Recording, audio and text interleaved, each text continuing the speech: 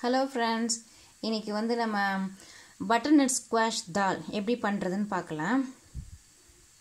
அதுக்கு வந்து ஒரு கப் மூங் தால் அதாவது பச்சை பருப்பு கழுவி எடுத்துக்கோங்க குக்கரில் அப்புறம் கழுவி நறுக்கி பொடியாக்கின பட்டர்நட் ஸ்குவாஷ் அது ஒரு கப்பு இது ஒரு கப்பு அப்புறம் வந்து ஒரு அரை ஸ்பூன் நறு நறுக்கின இஞ்சி ஒரு பிரியாணி இலை. அதுக்கு தேவையான கொஞ்சம் மஞ்சள் பொடி. ஒரு கால் டீஸ்பூன் மஞ்சள் பொடி போட்டு ஒரு மூணு கப் தண்ணி ஊற்றி ஒரு மூணு விசில் இல்லை நாலு விசில் வச்சு எடுத்துக்கிட்டிங்கன்னா நல்லா வெந்து நல்லா குழஞ்சி வந்திருக்கும். நம்ம இப்போ வந்து ஒரு ஃபோர் விசில் அடுப்பில் வச்சு எடுத்துடலாம். பார்த்தீங்களா நல்ல ஒரு மூணு நாலு விசில் வச்சோன்னு நல்லா வெந்துடுச்சு. இப்போ வந்து நம்ம இது தாளிக்கிறதுக்கு ஏற்பாடு பண்ணிக்கலாம். நம்ம இப்போ ரெண்டு ஸ்பூன் நெய் ஆட் பண்ணிக்கலாம் தாளிக்கிறதுக்கு.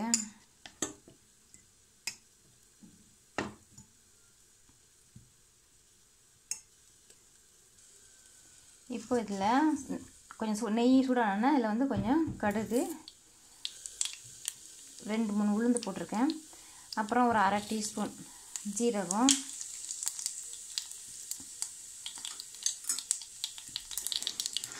இது பொறிஞ்சோடனே காஞ்ச மிளகா கருவேப்பிலை அப்புறம் பொடியாக நறுக்கின இஞ்சி பூண்டு.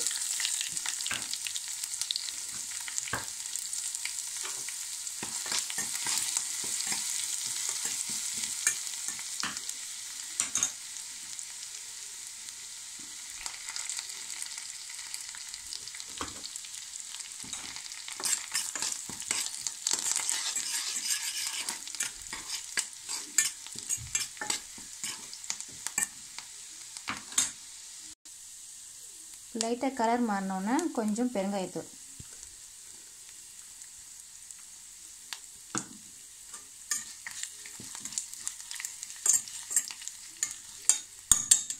ஸ்டவ் ஆஃப் பண்ணிவிட்டு இறக்கிறதுக்கு முன்னாடி ஒரு கால் டீஸ்பூன் மிளகா பொடி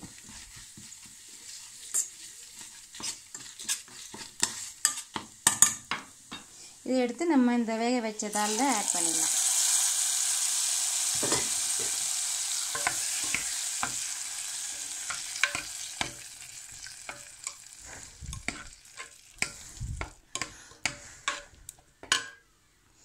அப்புறமா நமக்கு கொத்தமல்லி கொஞ்சம் ஆட் பண்ணிக்கலாம்.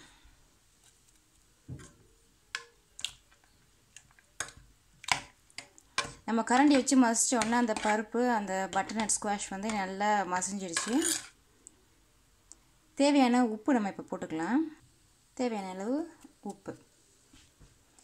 இந்த கன்சிஸ்டன்சி வந்து குழம்போடது வந்து திக்னஸ் வந்து உங்களுக்கு எவ்வளோ வேணுமோ அந்த அளவுக்கு ஏற்ற மாதிரி போட்டுக்கோங்க. கொஞ்சம் தண்ணியாக வேணும்னு நீங்கள் தனியாக ஆட் பண்ணிக்கலாம். இப்போ நான் வந்து நான் கரெக்டாக ஒவ்வொரு நல்லா இதுவாக வச்சுருக்கேன். உங்களுக்கு தனியாக வேணும்னா தனியாக ஆட் பண்ணிக்கலாம். சுவையான பட்டர்நட் ஸ்குவாஷ் தால் இப்போ நமக்கு சாப்பிட்றதுக்கு ரெடியாக இருக்குது. இதை வந்து நம்ம ரைஸ் கூட சப்பாத்தி கூட தோசை கூட இட்லி கூட இது கூட நல்லா சாப்பிட்லாம். சாப்பிட்டு என்ஜாய் பண்ணுங்கள் தேங்க்ஸ் ஃபார் வாட்சிங்